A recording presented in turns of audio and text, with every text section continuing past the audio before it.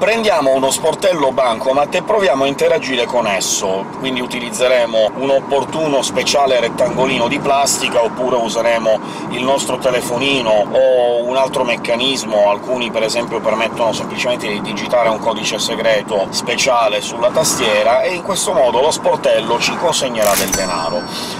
Oppure utilizziamo un altro sistema per interagire con questo sportello, e anziché utilizzare un opportuno rettangolino di plastica, utilizzeremo qualcosa di un tantinello più pesante, per esempio un bel piede di porco, come si dice in siciliano un palanchino, anche detto asso di spade. In questo modo, percuotendo il bancomat con un piede di porco, eh, otterremo che comincerà a dare strani segnali sul monitor, il computer comincerà a dare i numeri, sino a quando sarà completamente completamente distrutto e ne usciranno le banconote che ci sono al suo interno. Però molto probabilmente a questo punto le banconote saranno macchiate da un liquido indelebile, quindi saranno totalmente inutilizzabili. Infatti svolgere questa azione di percuotere uno sportello bancomat molto forte con un piede di porco è illegale e vi farà finire in carcere per molto tempo, quindi non provateci a casa bambini. Ma a questo punto la domanda sorge spontanea.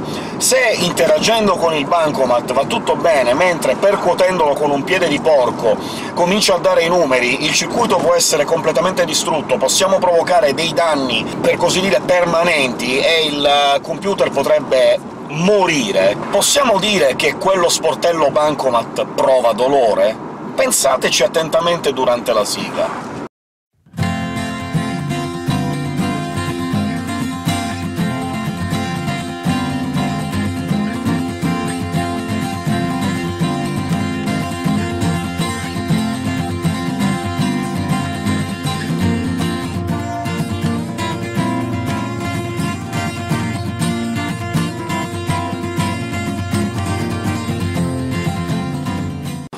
Benvenuti a bordo, viaggiatori! Sono Grizzly e questo è Diario di Viaggio on the road. L'argomento di oggi è molto spinoso, mi sono ispirato ad un video di Kurzgesagt che appunto ci chiede «Ma dovremmo riconoscere dei diritti alle macchine?» E per cominciare, prima di trattare approfonditamente questo argomento, vi lascio il video di Kurzgesagt sul doobly-doo e sulla scheda, così potete andare a dargli un'occhiata, è molto interessante e, tra le altre cose, il video è in inglese, ma la descrizione e i sottotitoli sono tradotti in italiano, quindi potete fruirne tranquillamente. Quello che voglio fare in questo video è provare a rispondere in maniera corretta, in maniera intelligente, alla domanda se dovremmo riconoscere dei diritti alle macchine. Ora, la risposta breve, secondo me, secondo il mio personalissimo parere, è sì, dovremmo riconoscere determinati diritti alle macchine, anche se rappresentano delle macchine. Ma la risposta lunga è sì, dovremmo riconoscere dei diritti alle macchine, ma in determinate condizioni, in determinate situazioni, e dovremmo riconoscere solo determinati diritti. Allora, vengo e mi spiego. L'esempio che ci fa Kurzgesagt è quello del discorso di avere una coscienza. Ora, obiettivamente non so quale sia, per esempio, il limite tra una macchina normale e una macchina senziente, non so se possiamo definire qual è il limite, nel senso che sì, in questo momento in cui viviamo le forme di intelligenza artificiale che abbiamo a disposizione sono comunque delle forme di intelligenza artificiale molto basilari, cioè sì, possiamo interagire con il nostro telefonino, con Siri, con OK Google, con quello che sia, eh, parlargli in lingua italiana, parlargli nella nostra lingua, in inglese, nella lingua che parliamo, e ottenere delle risposte.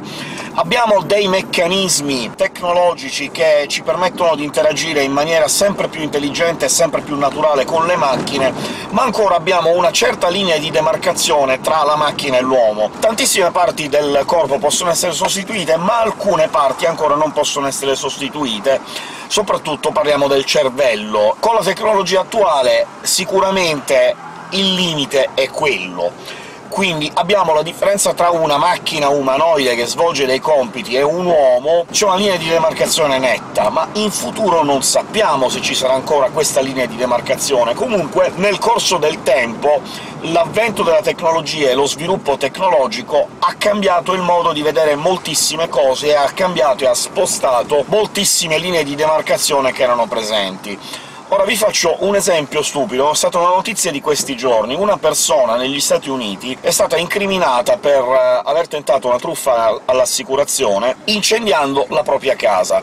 Fondamentalmente la storia è io stavo dormendo, mi sono svegliato, c'era la casa che bruciava, c'era la stanza invasa dal fumo, ho avuto solo il tempo di lanciarmi fuori di casa, tirare quelle 3-4 cose che avevo in camera fuori dalla finestra, lanciarmi fuori dalla finestra anche io, e scappare prima che il fuoco bruciasse tutto quanto. E fin qua è la storia di quello che è successo.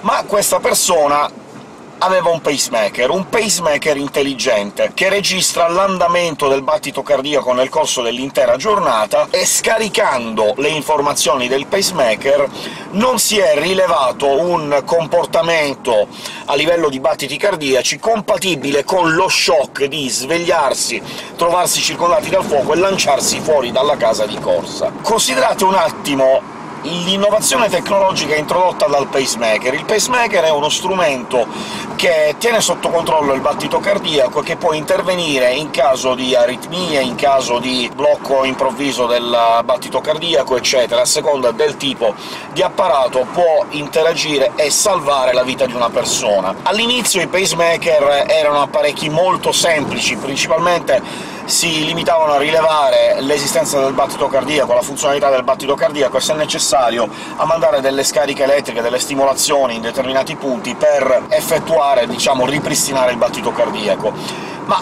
quelli attuali sono molto più intelligenti, ti ci puoi interfacciare con il telefonino via Bluetooth, se fai attività sportiva puoi caricare un profilo di attività sportiva, quindi il pacemaker non reagirà all'improvviso aumento del battito cardiaco dovuto al fatto che stai svolgendo un'attività sportiva, quindi ci sono tutte queste innovazioni che sono cose che, quando è stato concepito il pacemaker, erano veramente cose di fantascienza, ma ci siamo arrivati e chissà che cosa ci riserva il futuro. Quindi, guardando solo le apparecchiature medicale che cosa è stato fatto negli ultimi, non so, 15-20 anni a livello tecnologico. Le protesi, ho parlato già in passato delle protesi stampate in 3D e motorizzate in maniera tale da poter essere controllate addirittura dall'idea, dallo stimolo che va alla terminazione nervosa di muovere un muscolo e si può controllare il motorino che apre o chiude una mano. Siamo certamente a tecnologia che fino a qualche anno fa era fantascienza, e quindi in futuro arriveremo a tecnologie che in questo momento sono fantascienza.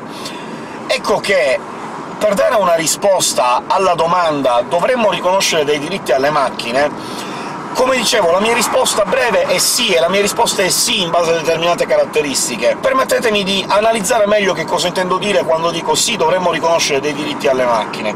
Secondo me dovremmo partire, che è una cosa che tra le altre cose stanno facendo seriamente in molti, anche a livello di scienziati di ricercatori, dovremmo partire da un'idea, un'idea che può essere quella che c'è alla base, per esempio, delle tre leggi della robotica.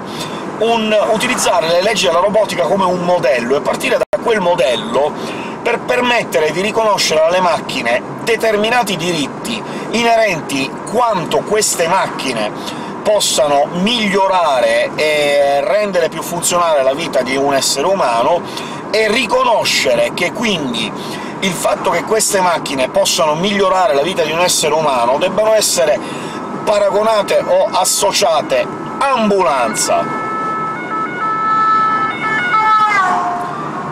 ad un essere umano e quindi riconoscere a queste macchine la stessa valenza di diritti che si riconosce a un essere umano. Fondamentalmente, se io ho una protesi robotizzata che è una macchina intelligentissima, è un braccio che permette di fare tutte le funzioni del braccio, ho questa protesi installata sulla persona, io devo riconoscere che se un vandalo va lì e prende il braccio a colpi d'accetta, non sta semplicemente danneggiando una macchina, sta danneggiando la persona a cui questa macchina è collegata. Non è che quando questa persona va a dormire stacca questa protesi, allora se vado lì a prenderla a colpi di accetta sto di nuovo danneggiando solo la macchina, sto danneggiando anche la persona che utilizza questa macchina, quindi dovremmo riconoscere a quel braccio bionico il diritto di essere una parte integrante della persona a cui appartiene.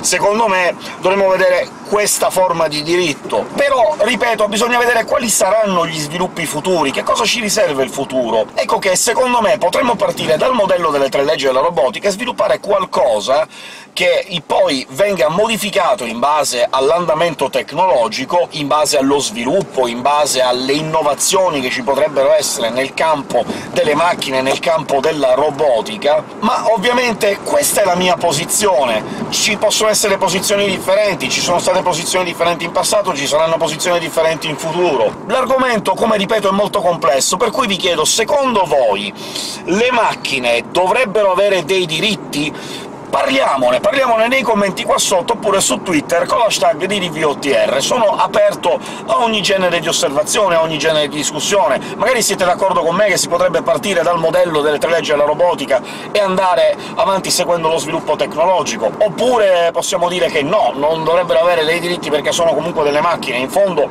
le tre leggi della robotica ci dicono fondamentalmente che il principio è la macchina deve servire l'uomo e non deve danneggiare l'uomo. La macchina può danneggiare se stessa solo se ciò non è in contrasto con le leggi servire a proteggere l'uomo. Potrebbe esserci questo, quindi non c'è il diritto, la macchina può essere distrutta perché dalla distruzione della macchina si è salvata una singola vita umana ci sono le implicazioni della legge Zero, ma non voglio fare spoiler per chi non ha letto tutta la saga di Asimov. Avete altre ipotesi? Pensate che no, anche la macchina che può essere il braccio bionico, che sostituisce alla fine un oggetto, se qualcuno lo danneggia sta solo danneggiando un oggetto, non sta danneggiando la persona che possiede quell'oggetto? Non lo so, ripeto, parliamone. Bene, direi che ho concluso. Come sempre vi ricordo, se sono riuscito a stuzzicare la vostra immaginazione, di fare pollice in alto e di condividere questo vlog con i vostri amici anche su WhatsApp o Telegram, o di condividermi consigli se Siri è una vostra amica. Vi ricordo, se non l'avete già fatto, di iscrivervi al mio canale YouTube, è gratuito e riceverete subito un bel bagno di olio caldo e no, scusate, volevo dire assumerete subito quel buon profumo di nuovo iscritto che ci piace così tanto. Inoltre, se vi iscrivete anche al mio canale Telegram, che trovate linkato sul doobly-doo e sulla scheda, riuscirete anche a ricevere una notifica ogni volta che pubblico un nuovo video. Infine, se c'è un argomento che vi piacerebbe che io trattassi in diario di viaggio on the road, potete farmi sapere anche quello in un commento qua sotto. Questo è tutto, per cui di nuovo e come sempre grazie per essere arrivati in fondo a questo vlog. Ciao a tutti e ci vediamo alla prossima!